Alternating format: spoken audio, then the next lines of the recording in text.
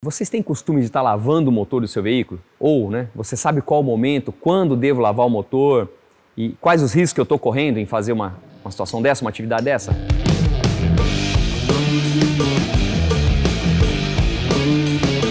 A gente sabe que hoje, né, muitas pessoas têm em casa lá uma VAP, tem uma maquininha boa para se lavar, fazer uma limpeza, mas a gente quer deixar algumas dicas para vocês aqui para não terem aborrecimentos futuro ou mesmo até um prejuízo, tá? Esse aqui é um veículo que, na verdade, tem um vazamento de óleo.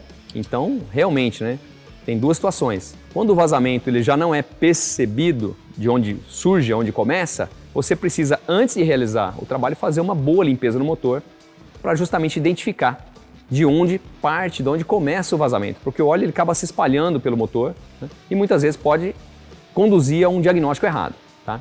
Agora, depois de pronto, se você executa o trabalho, também vai precisar ser lavado esse motor, fazer uma boa limpeza para que você verifique pós o trabalho se realmente o vazamento persiste, se diminuiu, se existem outros pontos. Tá? Deixar algumas dicas para vocês aqui. Esse também é um carro bacana de falar porque o módulo de injeção ele está logo aqui atrás da bateria. Tá? E vocês vão ver que ele está no suporte, ele está até um pouco escondido. Alguns, você abre o capu, você já visualiza ali a etiqueta, já vê o módulo, outros já estão um pouco mais escondido.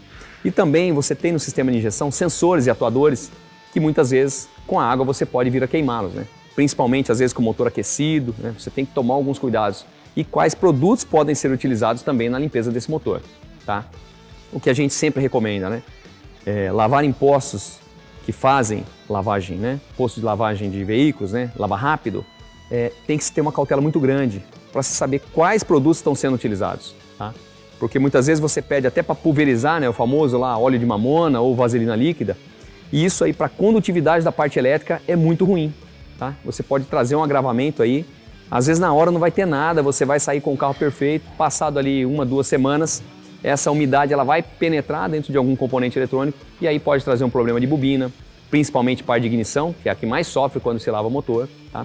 Uma ruptura de algum sensor, Tá? Uma leitura errada de um sensor de temperatura, por exemplo, de ar ou de temperatura do líquido de arrefecimento. Então, a limpeza do motor é extremamente importante, sim, mas ela tem o momento e o local e a forma correta de se fazer. Tá? Então, fica a dica para vocês aí, é, principalmente você que gosta de lavar até o motor em casa, né? Toma muito cuidado, procurar saber onde estão os sensores e atuadores. Tem peças que é imprescindível que você revista ela ali com plástico, alguma coisa para que a água não tenha um contato diretamente com ela, tá? Porque a limpeza é importante, sim, mas também é importante que você cuide dessas partes vitais do motor para você não ter que, após uma lavagem, uma boa limpeza, ver o motor limpo, que muitas vezes daqui a pouco ele vai parar de funcionar, como já tivemos aí várias situações.